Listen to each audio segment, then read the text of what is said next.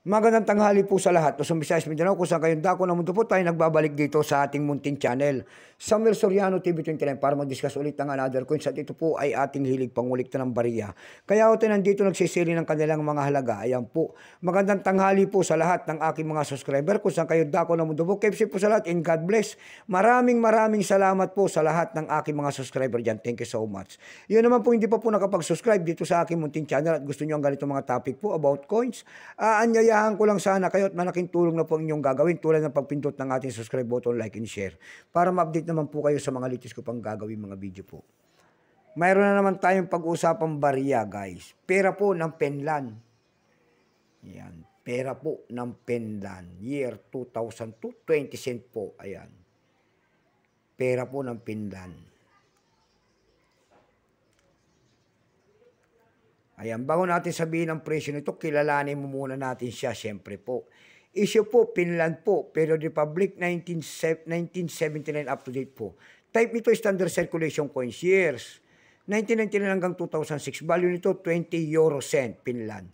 Currency euro 2002 up to date po. Composition po nito ay Nordic Gold. May bigat po itong 5.74 grams, may haba pong 22.25 mm.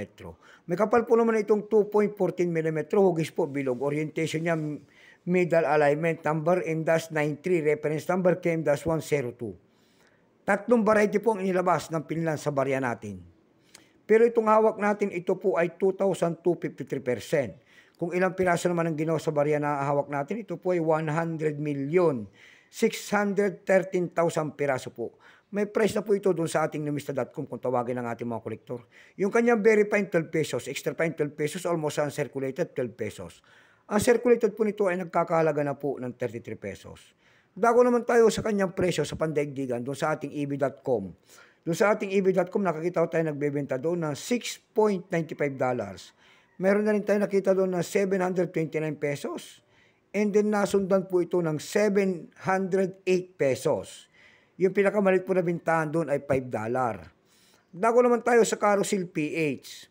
Sa Carousel PH naman po nakakita tayo nagbebenta doon ng 400 pesos. Meron na rin nagbebenta doon ng 200 pesos. Yung pinakamalit po na bintahan doon ay nagkakalaga po ng 130 pesos. Ayan lamang po ang aking may babagi sa inyo, sagad na.